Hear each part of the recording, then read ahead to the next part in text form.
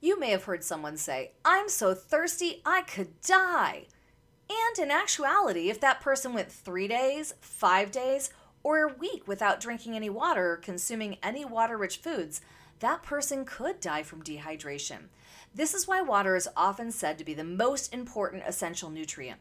It is so vital because of its many unique functions in the body. You may ponder how it can have so many functions if it's a simple little molecule made of only two hydrogen atoms and one small oxygen atom. Well, its unique dipolar structure makes water the universal solvent, and its evaporative qualities allow us to easily maintain body temperature at 98.6 degrees Fahrenheit. Very specific.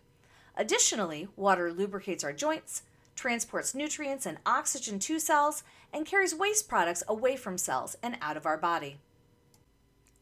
This is why water makes up over half of the body weight of a healthy individual. If you do not have enough water in your system, there will be signs and symptoms of dehydration.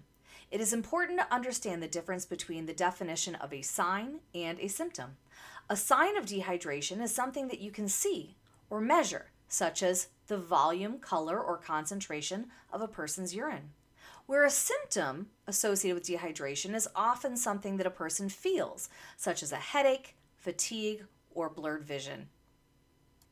If a person determines that they are dehydrated, what can be done to bring the body back to homeostasis or healthful body balance? Well, many take for granted that almost any sink in the United States has potable or drinkable tap water we don't even think about the fact that we can constantly get this healthy, safe supply of water into our body to help with hydration. Some think it's very confusing why so many people are dehydrated in the United States, even with a safe, abundant supply of water. If individuals do not prefer to drink for hydration, they do not need to stress, as dehydration can be helped by consuming foods that contain a high percentage of their weight in water, such as fruits, vegetables, cooked pastas, soup, and more. When these foods are consumed, water is a component of each bite. So we can drink water or we can eat water. And the third way we can fight dehydration is through the production of metabolic water, which is made when food is digested, absorbed, and processed. One fun fact is that proper hydration cannot occur with water alone, as water needs something to hold on to when it's in a living being. That's where electrolytes come into the picture. Electrolytes are minerals that help with proper water balance in the body. The three main electrolytes in the body aiding in water balance are sodium, chloride, and potassium. If a person is consuming appropriate amounts of water and electrolytes, it allows for healthy water electrolyte balance or hydration.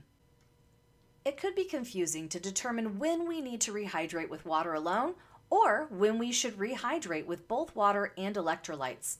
Some people think, I ran for 45 minutes in the shade on a cool fall day. I should probably have an electrolyte beverage to rehydrate.